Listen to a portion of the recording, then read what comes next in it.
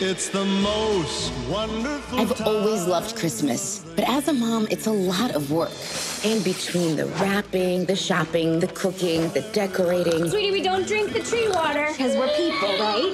Oh, God, make it stop. there's almost no time to actually enjoy it. And only one thing Oh no. What is it? could make it even more stressful. My mother's coming for Christmas. Oh, my fucking God. You ain't nothing. Mom? Hi, Mom. Hey, Nate. Mom? what the actual fuck? I'm here to see my daughter on Easter. It's Christmas. Christmas. I cannot wait to spend every waking minute With you.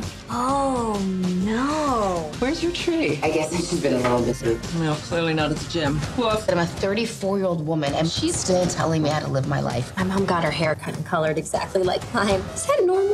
We don't like to use the word normal. You were gonna be my best friend forever. Yeah. I want to throw a Christmas party. Where? My house? Yes. And 184 people are coming. How much did this cost? Can you put a price tag on wonder? I actually just wanted to enjoy Christmas this year. You are a mom. Moms don't enjoy, they give joy. She's gonna keep treating you like this until you fight her. Physically, I don't want you to meet my mom. Now watch me Christmas is supposed to be fun. Take Christmas back.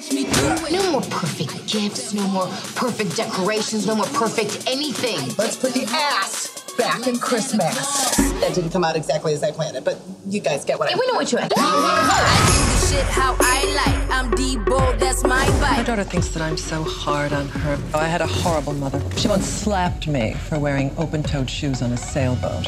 It was a different time then. It was two months ago. I light it up, I set it off kind of on a first date with Santa number two. How'd you guys meet? Oh, waxing his balls. Slight sting on your nutsack. I don't think I've ever felt this way about another human being in my entire life. I can pull my butt crack open for you if you want. No one's ever asked if they could hold their butt crack open for me before. I'll hold my butt crack open for you anytime you want, Carla. That is so romantic. Every time I think I'm the fucked up one in this group, you open your mouth. We went to prom together. Oh, Lord. And then I'm like, I'm doing great.